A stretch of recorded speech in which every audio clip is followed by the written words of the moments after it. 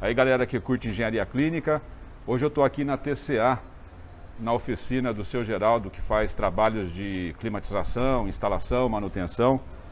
A gente já fez alguns projetos juntos e o Vanailson, que é o técnico aqui da equipe, eu cheguei hoje aqui ele estava cuidando desse evaporador do split. Então, o que a gente pode ver aqui dentro, ó, as pás, né? olha bem aqui nessas pás, ela, elas ficam muito sujas, né? Então, primeiro, ela perde a função aerodinâmica dela, que é de impulsionar o vento, porque mudou toda a forma, está tudo impregnado. E você pode olhar aqui na serpentina, na própria serpentina, a formação de fungo. Então, assim, além do split não renovar o ar ambiente, ele tem esse problema e as pessoas não veem isso. Elas só percebem quando ele perde a capacidade dele de resfriar o ar ou o fluxo de ar, porque o ventilador centrífugo, isso aqui é um ventilador centrífugo, não é axial, ele está totalmente sujo.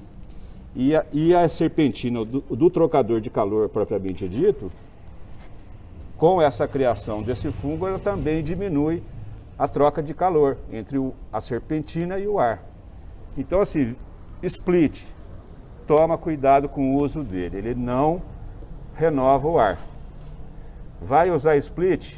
Conversa com o seu engenheiro como é que vai dar conta da renovação do ar de acordo com a portaria é, 3523 de 98, que estabelece ali um requisito mínimo de 27 metros cúbicos por hora de ar novo por ocupante.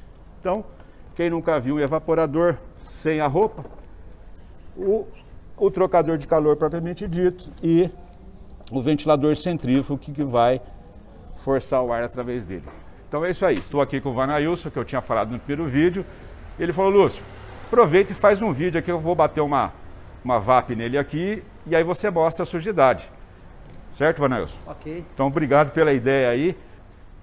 E vamos ver o que vai sair desse evaporador que o Vanailson está dando um trato aqui. markets.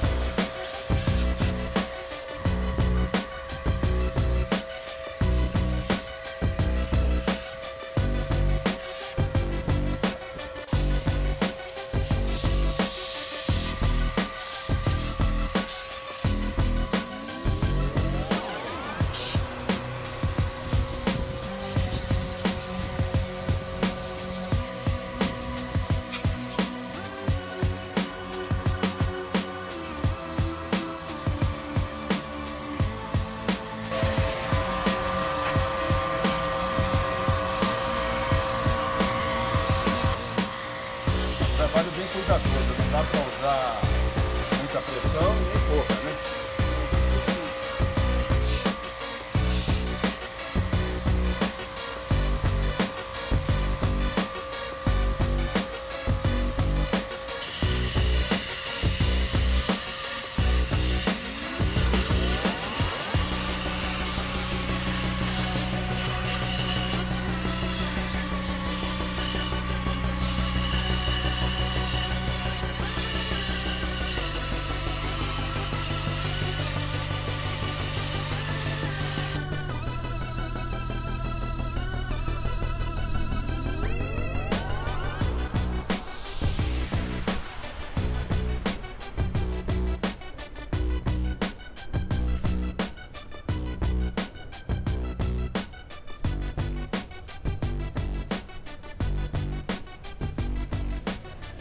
né? pessoal, então o que eu mostrei para vocês é uma pequena parte do processo de limpeza. Por acaso aqui o Vanailson me convenceu a fazer esse vídeo aí. O Anailson ele é técnico nessa área, tem formação profissionalizante no Senai há muitos anos, tanto máquina de pequeno porte como grande porte. É funcionário aqui da TCA do seu Geraldo. E Vanailson, o que, que o pessoal normalmente argumenta com você quando vocês falam que tem que fazer esse processo de limpeza, etc, etc? Quais que são as grandes desculpas aí, vamos dizer? Bom, pessoal que tem ar-condicionado aí, doméstico aí, comercial, é, um dos sintomas que o pessoal reclama sempre quando está com problema no ar-condicionado, a reclamação é que está com pouco rendimento, o ar fraco. Então, é, nesse caso, é, eu recomendo aí, pelo menos anualmente, fazer uma limpeza química no, no evaporador, que é essa peça que está aqui no chão, faz o tratamento, água com baixa pressão e o produto químico que é o agente que vai tirar todas as bactérias. E fazer essa limpeza anualmente, você vai ter a máquina com bom rendimento e bom desempenho e além disso, qualidade do ar. É, e você pode fazer anual, de repente você faz no primeiro ano e ela tá boa. Então você descobre que no, na sua casa, no ambiente onde você vive, na região onde você está, a cada ano e meio, a cada dois anos você tem que fazer. Mas é importante não deixar de fazer, porque como vocês viram no vídeo, tem muita fuligem, umidade também, e ali é um ambiente propício para crescimento de micro-organismo, né? Correto. Bom, então é isso aí, pessoal. Se vocês estão gostando do canal, com esse tipo de conteúdo que a gente está levando, se ajuda vocês a entenderem mais como nós da área técnica podemos atuar melhor dentro do ambiente hospitalar. Se inscreva no canal, deixa o seu like, compartilha, isso ajuda muito a aumentar a relevância do nosso tema nas redes. E mandar um salve aí para o seu Geraldo da TCA, vou deixar o endereço dele no link da descrição.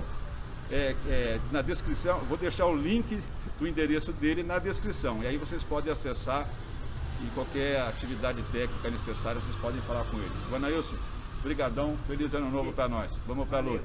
Valeu.